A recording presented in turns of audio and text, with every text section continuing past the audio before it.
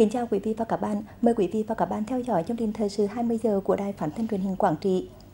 Sáng nay, Chủ tịch Ủy ban nhân dân tỉnh Quảng Trị Nguyễn Đức Chính và Phó Chủ tịch Ủy ban nhân dân tỉnh Mai Thức đã tiếp và làm việc với đại sứ Hoa Kỳ tại Việt Nam Tess Osius. Tại buổi tiếp, Chủ tịch Ủy ban nhân dân tỉnh Nguyễn Đức Chính đã thông tin đến đại sứ Hoa Kỳ về tình hình kinh tế xã hội và những hoạt động khắc phục hậu quả chiến tranh của Quảng Trị. Chủ tịch Ủy ban nhân dân tỉnh cho rằng trong những năm qua, tỉnh Quảng Trị đã có nhiều cố gắng trong việc hỗ trợ người dân phát triển kinh tế. Tuy nhiên, hiện tỷ lệ hộ nghèo vẫn còn 7%. Một trong những nguyên nhân là do Quảng Trị có xuất phát điểm thấp bởi sự tàn phá của chiến tranh hết sức nặng nề. Trong đó bom mìn và vật liệu nổ còn sót lại sau chiến tranh đã làm ảnh hưởng đến tình hình sản xuất, đặc biệt là sức khỏe và tính mạng của nhiều người dân. Từ năm 1975 đến nay, Quảng Trị có hơn 8.500 nạn nhân bom mìn và vật liệu nổ, trong đó trẻ em chiếm trên 31%. Đến nay trên 80% tổng diện tích đất trong toàn tỉnh đang bị ô nhiễm bởi bom mìn. Chủ tịch Ủy ban nhân dân tỉnh đã gửi lời cảm ơn đến Bộ Ngoại giao, Chính phủ Hoa Kỳ đã hỗ trợ Quảng Trị trong công tác rà phá bom mìn. Chỉ những hoạt động đó đã góp phần giúp người dân khôi phục đất đai sản xuất và ổn định đời sống. Tuy vậy, khó khăn trong việc làm sạch bom mìn còn kéo dài trong vài chục năm tới. Bên cạnh đó, đời sống người dân còn khó khăn, đặc biệt người tàn tật, nhiễm chất độc còn lớn, cơ sở hạ tầng còn kém, chưa đồng bộ nên sản xuất và đầu tư chưa phát triển bền như các tỉnh khác. Vì vậy, Chủ tịch Ủy ban nhân dân tỉnh Nguyễn Đức Chính đã bày tỏ mong muốn chính phủ Hoa Kỳ và các tổ chức quốc tế tiếp tục hỗ trợ Quảng Trị ra phá bom mìn và những hoạt động giúp đỡ người khuyết tật trên địa bàn tỉnh.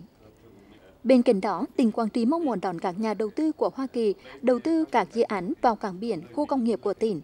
Về phần mình, Đại sứ Hoa Kỳ Ted Osius đã đánh giá cao những hoạt động của chính quyền và nhân dân tỉnh Quảng Trị trong việc khắc phục hậu quả chiến tranh, hỗ trợ người dân phát triển kinh tế và những hoạt động hợp tác tốt đẹp với cơ quan phát triển quốc tế Hoa Kỳ. Đại sứ Ted Osius cho rằng, khép lại quá khứ, hướng tới tương lai, đó là thông điệp giữa hai chính phủ Hoa Kỳ và Việt Nam nói chung và với Quảng Trị nói riêng. Đại sứ Ted Osius cũng đã ghi nhận những đề xuất của Chủ tịch Ủy ban Nhân dân tỉnh Quảng Trị để báo cáo lại với chính phủ Hoa Kỳ trong việc khắc phục hậu quả chiến tranh, đặc biệt là việc hỗ trợ người khuyết tật, những nạn nhân bom mìn để họ có điều kiện vươn lên trong cuộc sống. Cùng trong sáng nay, đại sứ Hoa Kỳ Ted Osius cùng đoàn công tác đã đến thăm trung tâm cơ sở dữ liệu bom mìn tại thành phố Đông Hà. Chiều nay, đồng chí Nguyễn Hữu Dũng, Ủy viên Ban Thường vụ tỉnh ủy, Phó Chủ tịch Ủy ban nhân dân tỉnh đã đi kiểm tra việc triển khai thực hiện đóng tàu theo Nghị định 67 của Chính phủ tại Quảng Trị. Qua kiểm tra cho thấy vẫn còn những vướng mắc khó khăn trong quá trình thực hiện. Tại các cơ sở đóng tàu của công ty trách nhiệm hữu hạn đóng tàu Cửa Việt và công ty trách nhiệm hữu hạn một thành viên đóng tàu Triều An, sau khi Ủy ban Nhân dân tỉnh phê duyệt danh sách 25 chủ tàu đủ điều kiện vay vốn đồng mới tàu đợt 1 theo Nghị định 67, Đến nay có 8 trên 25 chủ tàu được xem xét thẩm định hồ sơ và ký kết hợp đồng vay vốn đồng mới tàu cá theo đúng trình tự quy định, trong đó có 6 tàu vỏ sắt, 2 tàu vỏ gỗ. Tại buổi kiểm tra, các đơn vị liên quan triển khai thực hiện Nghị định 67 đã báo cáo một số vướng mắc khó khăn ảnh hưởng đến tiến độ đồng mới tàu. Như trên địa bàn tỉnh có hai đơn vị đồng mới tàu, nhưng chỉ có một đơn vị có đủ năng lực đồng mới tàu vỏ thép. Quá trình thực hiện đồng mới một số chủ tàu đã xem xét điều chỉnh công suất thiết kế mẫu phù hợp thực tế, nhưng hầu hết các đơn vị tư vấn thiết kế tàu cá đều ở Nghệ An và Hà Nội, nên việc điều chỉnh không kịp thời. Bên cạnh đó, nguồn điện phục vụ nhu cầu sản xuất tại vùng thị trấn Cơ Việt quá tải, không đảm bảo cho hoạt động đồng tàu.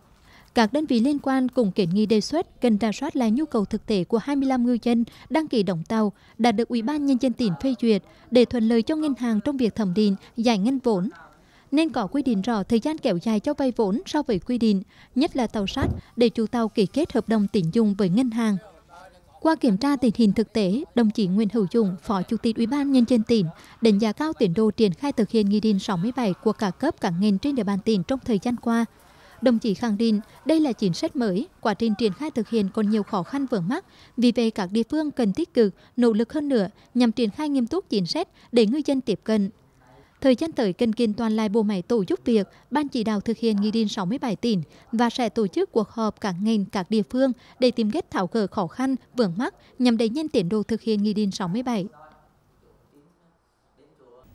Sáng nay, Thường trực Hội đồng Nhân dân tỉnh tổ chức cuộc đối thoại giám sát tình hình giải quyết khiếu nại, kiến nghị của công dân ở xã Hải Lâm, huyện Hải Lăng liên quan đến dự án trong rừng Subic. Dự và chủ trì cuộc đối thoại có đồng chí Nguyễn Đức Dũng, Phó Chủ tịch Hội đồng Nhân dân tỉnh, đồng chí Hà Sĩ Đông, Phó Chủ tịch Ủy ban nhân dân tỉnh, Phó trưởng đoàn đại biểu Quốc hội tỉnh, đại diện lãnh đạo một số sở ban ngành liên quan. Tại buổi đối thoại, người dân trên địa bàn xã Hải Lâm đã nêu lên tâm tư nguyện vọng và kiến nghị được hưởng lợi từ khai thác tỉa thưa cây phù trợ của chương trình trồng rừng dự án GBIC. Trong các năm từ 2003 đến 2008, người dân ở xã Hải Lâm đã tích cực tham gia trồng rừng GBIC. Trong đó, thôn Trường Phước được Ban Quản lý Dự án trồng rừng huyện Hải Lăng giao 189 ha, thôn Thường Nguyên được giao 71,9 ha, thôn Mai Đàn được giao 208,14 ha, Thôn Xuân Lâm được giao 214 ha để trồng rừng, gồm cây bản địa là sao đen và cây phù trợ là keo tai tường. Hiện nay, cây phù trợ đã đến kỳ khai thác, các nhóm hộ trồng rừng đã đề nghị cho khai thác hoặc được hưởng lợi theo quyết định số 178 của Thủ tướng Chính phủ. Sau khi kết thúc giai đoạn trồng và chăm sóc 3 năm đầu, nhà nước có chủ trương chuyển toàn bộ diện tích rừng Duy bích sang rừng phòng hộ. Ban quản lý rừng phòng hộ sông Thạch Thản là chủ rừng trực tiếp quản lý theo quy định. Trên cơ sở kiến nghị của người dân, Sở Nông nghiệp Phát triển Nông thôn và các đơn vị liên quan đã xem xét và trả lời là không được hưởng vì thực tế người dân đã được trả tiền công trồng và chăm sóc theo hợp đồng trước đó. Tại buổi đối thoại, Ban Quản lý rừng phòng hộ Nam Thạch Hàn, Chi cục Lâm nghiệp, Sở Nông nghiệp Phát triển Nông thôn đã báo cáo giải thích thêm về nguyên nhân người dân không được hưởng lợi theo quyết định 178 của Thủ tướng Chính phủ. Mỗi dự án trồng rừng đều có chính sách hưởng lợi khác nhau. Riêng dự án GPIC trồng bởi vốn ODA sẽ không được hưởng lợi theo quyết định 178 của Thủ tướng Chính phủ, mà chỉ được hưởng lợi theo quyết định 109-2008 của Bộ Nông nghiệp Phát triển Nông thôn. Từ năm 2014, sau khi được uh, uh, thấy rừng đã đủ đến 10 năm, thì chúng tôi có làm đơn gửi cho Ủy ban tỉnh, Hội đồng tỉnh thì có nhận được đơn trả lời. Nhưng với cái trả lời thì nhà người dân chúng tôi chưa thỏa mãn. Hôm nay được gặp mặt các ban ngành các lãnh đạo cấp tỉnh thì với cái, những cái mục đích và lý do và cái nguyện vọng của người dân. Với rừng rừng trồng của dự án Ribic tại xã Lâm thì sẽ tiếp tục uh, tiến hành cái giao rừng cho các cái hồ dân các cái nhóm hồ dân để tiếp tục quản lý bảo vệ và hưởng lợi Phát biểu tại cuộc đối thoại, đồng chí Hà Sĩ Đông, Phó Chủ tịch Ủy ban nhân dân tỉnh, Phó trưởng đoàn đại biểu Quốc hội tỉnh và đồng chí Nguyễn Đức Dũng, Phó Chủ tịch Hội đồng nhân dân tỉnh đều ghi nhận và đánh giá cao những nỗ lực đóng góp của nhân dân xã Hải Lâm. Mặc dù trong điều kiện rất khó khăn, nhưng các hội dân đã tích cực tham gia hợp đồng trồng và chăm sóc rừng Subic giai đoạn đầu, góp phần tăng tỷ lệ che phủ rừng và cải thiện môi trường sinh thái. Tuy nhiên, việc tuyên truyền vận động giải thích những chính sách áp dụng đối với dự án trồng rừng Zibic chưa thấu đáo, dẫn đến bà con có sự hiểu nhầm và khiếu nại khiếu kiện. Thường trực Hội đồng Nhân dân tỉnh đề nghị Sở Nông nghiệp Phát triển Nông thôn đề xuất tham mưu Ủy ban Nhân dân tỉnh sớm ban hành văn bản hướng dẫn để người dân xã Hải Lâm được tiếp tục tham gia quản lý bảo vệ rừng Zibic đúng theo quy chế của quản lý rừng phòng hộ. Đồng chí cũng đề nghị Sở Nông nghiệp Phát triển Nông thôn chỉ đạo các đơn vị sau này khi thực hiện các hợp đồng trồng, chăm sóc bảo vệ rừng cần viện dẫn những quy định của nhà nước nhằm đảm bảo quyền lợi cho người dân để làm sao người dân thực sự được hưởng lợi từ chính sách trồng rừng, góp phần xóa đói giảm nghèo, đảm bảo hài hòa lợi ích giữa người tham gia trồng rừng cũng như cơ quan quản lý, góp phần phát triển vốn rừng ngày càng hiệu quả hơn cũng như hạn chế khiếu nại khiếu kiện kéo dài.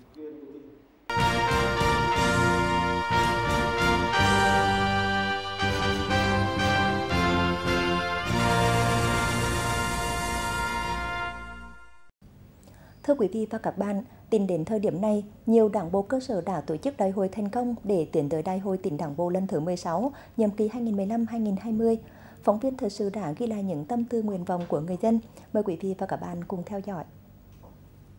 Thời gian qua, dưới sự lãnh đạo của Đảng, thì nền nông nghiệp của tỉnh Quảng Trị đã có nhiều cái bước phát triển vượt bậc. Riêng địa bàn xã tiểu Ái chúng tôi thì uh, cơ giới hóa, hiện đại hóa đã được đưa vào nông thôn nhiều ờ, giống cây trồng vật nuôi mới, năng suất cao đã đưa được vào áp dụng vào nông nghiệp. Cũng như bám sát tất cả các cái mục tiêu về xây dựng nông thôn mới như vậy như đời sống vật chất, tinh thần, văn hóa, xã hội của nông thôn, của địa bàn chúng tôi ngày càng khởi sắc đi lên. Qua theo dõi ờ, các phương tiện thông tin đại chúng thì tôi thấy đại hội ờ, chi đảng bộ cơ sở các cấp là thành công tốt đẹp khẳng định cái vai trò tiên phong của đảng là trong định hướng ờ,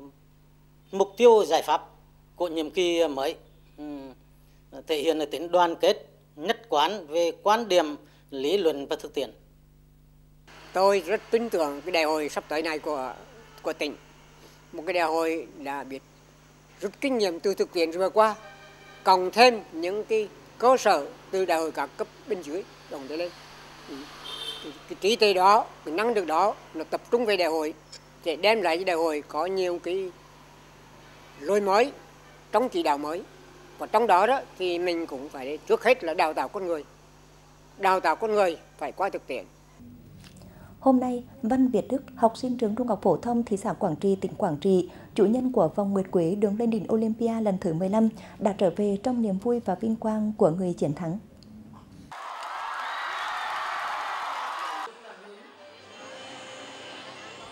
Xuất sắc đứng trên bục cao nhất giành vòng nguyệt quế trong cuộc thi đường lên đỉnh Olympia lần thứ 15, em Văn Việt Đức trở về trong vòng tay gia đình, nhà trường, bè bạn. Sự xúc động đang trào dâng trên mỗi khuôn mặt niềm vui vỡ òa trong hạnh phúc khi lần đầu tiên chung kết Olympia về với Quảng Trị.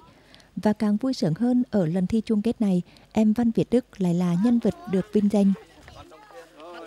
À, khi về Quảng Trị thì à, em cảm thấy à, rất là vinh dự, tự hào là khi, thì là một người con của mẹ đất. À, Quảng Trị đây nắng và gió. Và em xin cảm ơn à, đến, à, đến, đến gia đình, thầy cô và bạn bè là đồng viên à, giúp đỡ em trong suốt quãng à, thời, quãng thời gian vừa qua. Đồng hành trên mỗi chặng đường là dấu ấn sinh thành, công dưỡng dục, đó là sự đào tạo, dạy dỗ của các thế hệ cô giáo, trong đó cũng có cả sự động viên, chia sẻ nhiệt tình của bạn bè. Chiến thắng của Việt Đức đã mang lại niềm vui, sự tự hào cho tất cả các bạn học sinh, cho thầy cô giáo cũng như cho mỗi người dân Quảng Trị khi cầu học trò xuất sắc cán đích dân vòng nguyệt quế lần thứ 15 của đường lên đỉnh Olympia. À, tôi rất vinh dự và tự hào khi có một à, à, người học trò mình chủ nhiệm suốt 3 năm đã đạt được cái thành quả như ngày hôm nay. Em Văn Việt Đức không không chỉ là niềm tự hào của À, lớp 12 1 của trường Trung học phổ thông thị xã Quảng Trị, mà còn là niềm tự hào của à, những người con của à, quê hương Quảng Trị. Ừ, là em cảm thấy là tự hào khi học chung với mái trường mà anh Đức đã được từng học và em cảm thấy là bản thân mình cần phải chăm chỉ và cố gắng hơn nữa để mà đạt được những thành quả mà giống như anh Đức vậy. Chia sẻ cảm xúc sau khi giành chiến thắng, Việt Đức khẳng định chiến thắng tại đường lên đỉnh Olympia chỉ là một bước đệm trong cuộc đời em, nhưng đây là một bước đệm quan trọng giúp em hoàn thành những giấc mơ. Rõ ràng, đường tới vinh quang còn muôn trùng khó khăn sóng gió. Liệu vinh quang có nổi tiếp vinh quang Giấc mơ có trở thành hiện thực hay không thì chúng ta cùng mong muốn và hy vọng rằng niềm tin, ý chí và sự quyết tâm sẽ mang tới cho em những bến bờ hạnh phúc và là động lực thôi thúc các bạn học sinh cố gắng nỗ lực hơn nữa trong hành trình đi tới tương lai. Chương trình thời sự 20 giờ của Đài Phản thân truyền hình Quảng Trị xin được kết thúc tại đây. Cảm ơn sự quan tâm theo dõi của quý vị và các bạn.